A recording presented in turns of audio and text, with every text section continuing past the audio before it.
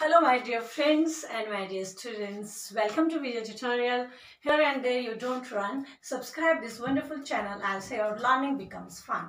Uh, प्यारे बच्चों आज मैं दोबारा आप लोगों के लिए विलोम शब्द लेके आई हूँ और ये जो वीडियो है ये specially class classes L K G K G first and second के स्टूडेंट्स के लिए तो चलिए नज़र डालिए व्हाइट बोर्ड पर uh, जैसे कि इससे पहला वीडियो मैं अपलोड कर चुकी हूँ, उसमें हमने बताया विलोम शब्द क्या होता है।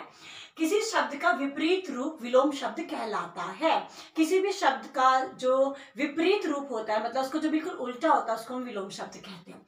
चतुर, मूर्ख। तो चतुर मतलब जो चालाक होता है और मूर्ख मतलब जो बुद्ध होता है। भारी, हल्का। जैसे रुई क्या है? हल्की है, पत्थर, भारी। अमीर, गरीब। सो so, अमीर लोगों के पास बहुत पैसा होता है ज़िंदगी जीते हैं और गरीब लोग बेचारे बड़ी मुश्किल से अपने जीवन का निर्वाह करते हैं। अमीर गरीब पक्का कच्चा। पक्का आम आप खाते हैं मीठा होता है और पीले रंग का होता है। कच्चा आम आप खाते हैं तो बहुत खट्टा होता है और हरे रंग का होता है। पक्का कच्चा मीठा कड़वा। नीम अगर आपने नीम खाई हो तो नीम कड़वी होती है और मीठा चीनी मीठी होती है मीठा कड़वा। ऊँचा नीचा। कोई चीज़ अगर ऊपर रखिए तो हम कहेंगे वो ऊँचे पे है, कोई चीज़ नीचे रखिए तो नीचे पे है। तो पहाड़ कैसे होते हैं? ऊँचे। और घाटियाँ कहाँ होती है? नीचे पे। ऊँचे, नीचे।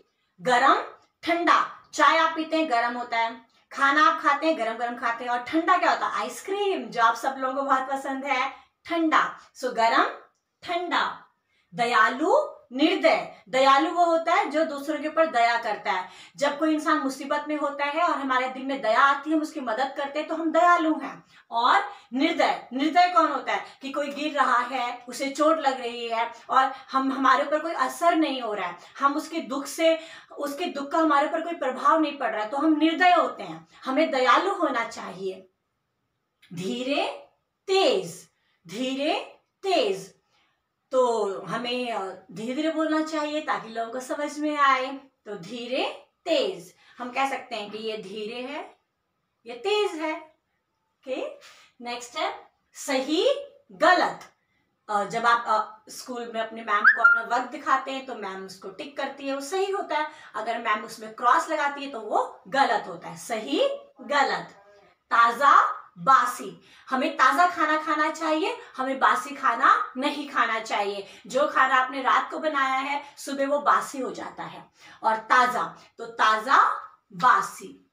साफ़, गंदा। हमें घर को साफ़ रखना चाहिए, हमें साफ़ साफ़ लिखना चाहिए, और हमें अपना नोटबुक्स हैं, बुक्स हैं, ये गंदी नहीं करनी चाहिए। तो साफ़, गंदा।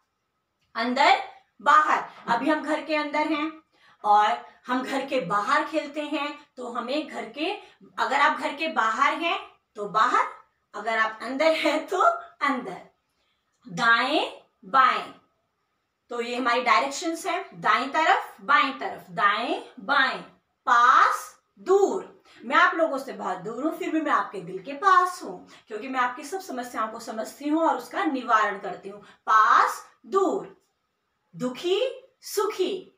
तो ज़िंदगी में हमें दुखी नहीं होना चाहिए। आजकल कोरोना काल चल रहा है, फिर भी दुखी मत हुई बस सावधानी बरते। दुखी, सुखी, भरा, खाली। तो जब आपका गिलास पानी से भरा हुआ होगा तो आप भरा कहेंगे। अगर उसके अंदर कुछ नहीं है तो आप क्या कहेंगे? खाली, भरा, खाली। सफ़ेद, काला। यहाँ देखिए ये रहा। सफ़ेद, काला। रंग के नाम है सफ़ेद और काला। काला गोरा। ये हम इंसानों में कहते हैं कि उसका रंग काला है, उसका रंग गोरा है। लेकिन इससे कोई फ़र्क नहीं पड़ता, हमारे रंग से कोई प्रभाव नहीं पड़ता, हमारा कर्म अच्छा होना चाहिए, हमारे काम अच्छा होना चाहिए। बहुत कम। आप बहुत और कम। सो हमें कम बोलना चाहिए, हमें ज़्यादा सुनना चाहिए और अच्छा सुनना चाहिए। तो मुझे उम्मीद है आज हमने 20 शब्दों का विलोम किया, छोटे बच्चों के लिए था। आप इस वीडियो को देखो और इनको अपने नोटबुक्स में लिखिए और याद कीजिए। Thank you